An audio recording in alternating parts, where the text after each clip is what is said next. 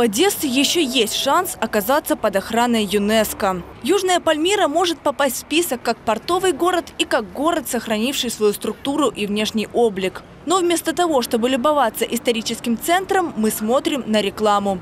Вывески на фасадах не дают получить полное представление об архитектурном убранстве здания. Проблема абсолютно для всего исторического ареала, не только для зоны ЮНЕСКо. И вот эти правила по вывескам, которые мы э, уже разработали, в принципе, они будут э, уже, я надеюсь, приняты как графическое приложение к правилам по оформлению вывески во всем э, историческом э, ареале.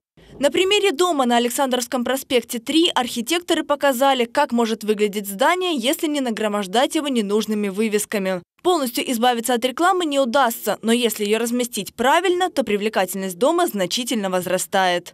Есть решение для этого. То есть это могут в пользу, а зачастую отдельно стоящих э, объемных букв или плоских не суть.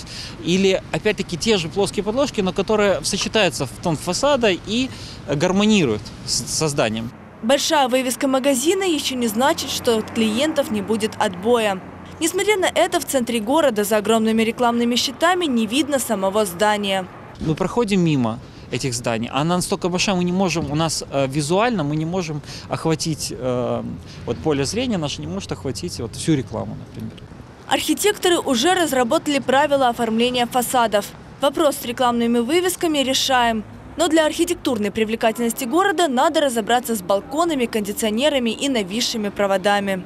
Немаловажным является, считаю, внимание самих горожан к проблеме, потому что у нас есть какая-то группа активистов, э, ну, патриотов города, которые с этим борются, но, к сожалению, для очень, очень многие люди как-то равнодушно относятся к этой проблеме. Но не все в городе так плохо. Если зайти в Одесский пассаж со стороны Преображенской, то справа будет магазин, вывеска и витрина которого не портит архитектурный вид здания.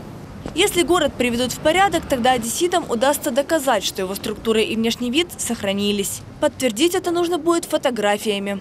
Одесские архитекторы рассчитывают, что Одессе все же удастся уберечь исторический центр от нагромождений ненужной рекламы. Ольга Китик, Виталий Прус, Думская ТВ.